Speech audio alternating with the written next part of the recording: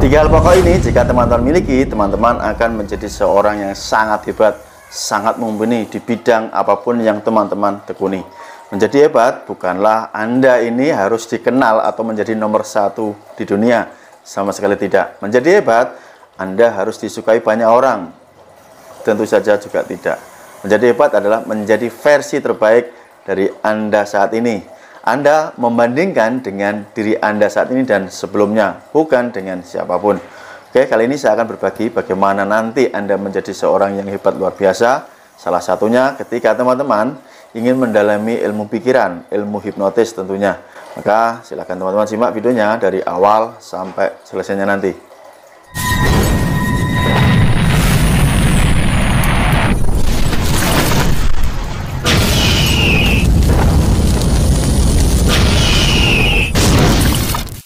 Ini bisa Anda terapkan tidak hanya ketika Anda belajar ilmu hipnotis. Ilmu ini bisa Anda terapkan di dalam berbagai kehidupan Anda saat ini. Tapi karena saya sebagai seorang guru hipnotis, sebagai pengajar ilmu hipnotis, maka saya akan memberikan contoh bagaimana aplikasinya dengan ilmu ini nanti Anda bisa mempercepat proses menguasai ilmu hipnotis. Yang pertama yang harus Anda miliki adalah knowledge. Di dalam belajar ilmu hipnotis, tentu Anda butuh yang namanya knowledge, pengetahuan tentang apa itu hipnotis.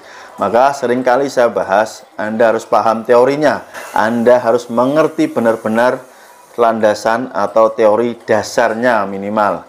Nah, barulah Anda mempelajari lebih detail lagi. Maka dari itu teman-teman harus berani belajar.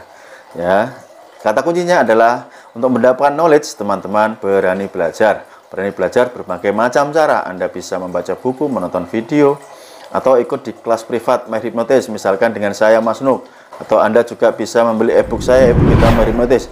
Itu adalah salah satu cara untuk membantu Anda mendapatkan yang namanya knowledge tentang hipnotis. Dan barulah yang kedua, Anda paham yang namanya know-how. Nah, Anda harus mengerti nih bagaimana cara mengaplikasikannya, menerapkannya. Dan tentu saja ketika kita membicarakan, membahas tentang tata cara ilmu hipnotis, maka teman-teman juga harus paham teknik pengaplikasiannya. Bagaimana menginduksi atau membuat seseorang ini masuk kondisi alam bawah sadar secara cepat dalam hitungan detik. Nah, ini termasuk know-how. Oke. Selanjutnya yang terakhir atau yang tiga yaitu namanya Anda punya networking. Ini sangat penting teman-teman. Networking di sini tentu sangat luas maknanya di dalam ilmu hipnotis misalkan, teman-teman mempunyai network yaitu berupa trainer atau guru yang menjadi tempat Anda untuk bertanya dan tempat untuk membimbing Anda. Atau teman-teman, untuk menerapkan network ini, Anda bisa mempraktekkan poin yang kedua yaitu know-how dengan cara Anda mencari teman-teman di lingkungan Anda, siapa pun lah ya, Anda kenalan, kemudian Anda praktekkan ilmu hipnotisnya. Nah, jika tiga fondasi dasar ini Anda miliki, ya Anda akan menjadi seorang ahli hipnotis, menjadi orang hebat yang saya sebutkan di awal tadi.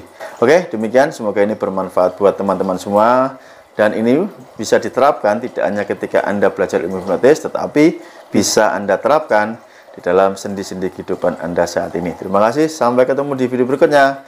Salam semangat dari saya Mas Nuk. See you next time. Bye bye. Salam hipnosa. See you.